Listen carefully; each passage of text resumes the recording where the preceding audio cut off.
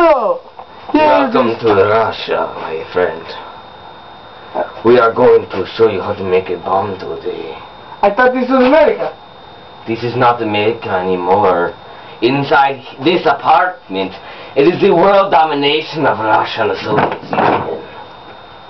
This is our first tool we shall use to take over the world.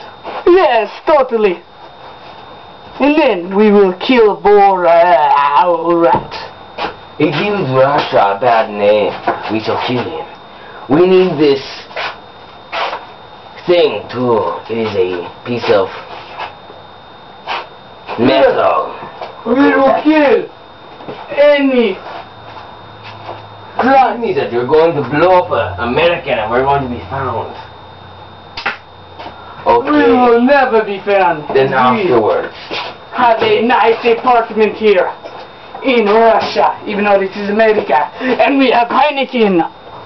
And yes, I am saying it right. Oh, you take the piece of objects and slide it along the barrel of any missile launcher. And it increases firepower by 14 megahertz. And then you take the hammer and you slide it down the barrel. Yes.